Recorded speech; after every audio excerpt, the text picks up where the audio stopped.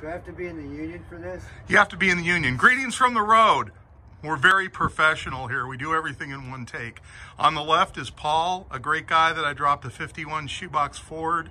Nice original car. I hauled up from Kingman, Arizona. Great guy.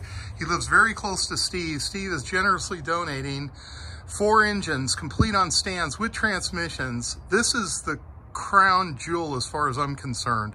This is a surprise for Josh Conrad, who's not going to see this video. Too bad, Josh, until you've seen this engine in person. So this is a delayed post. This is on Saturday. We've been already at it for a couple hours loading up the other three. Steve's going to explain to you about this engine and uh, take it away, Steve.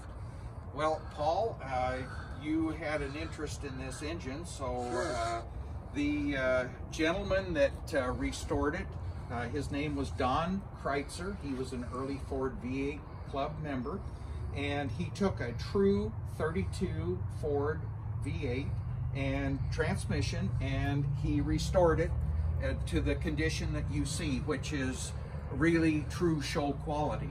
Yeah. Um, it's single barrel downdraft carburetor, the high coil, uh, the large spark plugs uh, that were, they were 18 millimeters. Uh, the high water pumps, I guess I mentioned that.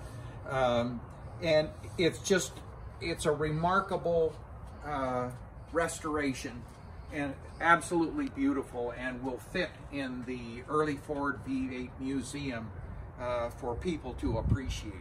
And these are very rare, correct? Extremely so. No one would go to the expense, and like you mentioned, Steve, Judging by the weight of the three engines from the Tao collection, you believe them to be hollow. This one is significantly heavier, and this is probably a fully functional engine. Most likely. You could actually drop this into a car, and that's probably never going to happen. But for someone to go to the expense to do this for a display purpose is just, it doesn't make sense economically. And the stand on it is well, just yeah, a work of art. I mean, look at that stand. I mean, Oh my gosh. Now, are there any features on this that you want to point out that you think are important or I, rare? I forgot to mention the cast aluminum pan. So there's those, a cat. Now, was that original back in the day?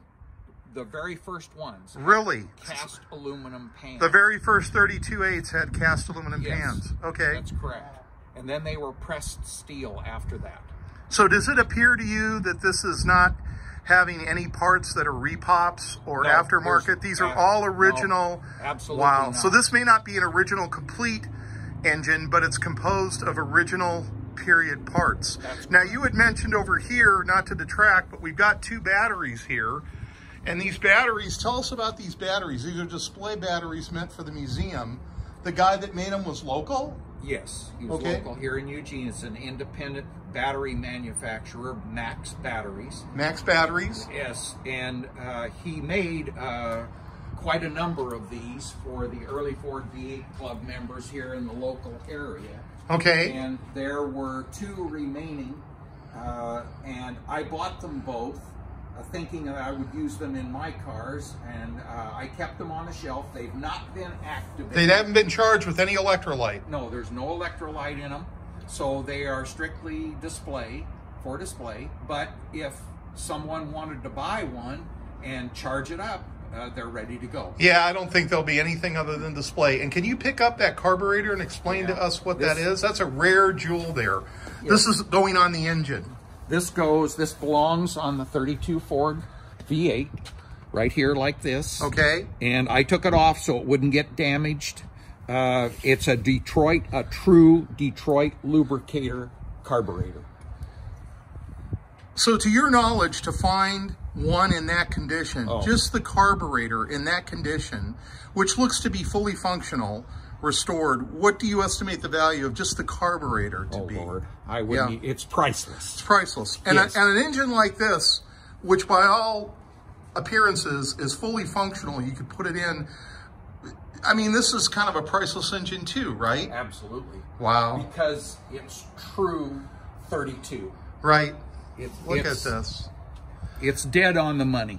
You can't really tell because we're in low light, but this is the the factory green right? That's correct. And uh, the aluminum intake manifold, the cast iron exhaust manifolds. Uh, we talked about the cast aluminum pan. We talked about the high coil. Uh, one of the things I found really interesting, if you want to come around here, Sure. is you look under here. Look at this petcock right here. Right. Lo- look how it's got the flutes in it like this. Wow. That is an original petcock. The Now is that is that a oil drain petcock? Or No, that's water.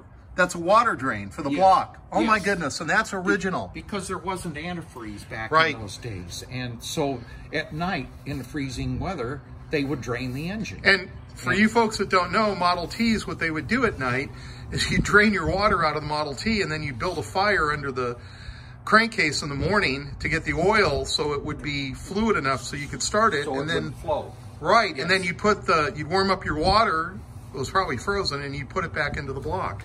This is the air cleaner that goes on the carburetor. that's the air cleaner for the car and So- again that's an original one. Is that, That- an oil bath or just a No, dry it's, uh, I believe that it's Just kinda- dry. it appears to be dry. Right, it doesn't look like an oil bath. No. This is absolutely fantastic. No, and again, not an oil bath. what's really unusual about the early Ford V8 Foundation Museum and Joshua Conrad is his desire to have next to every car an engine that would go in that car from that period, which is extremely hard to find.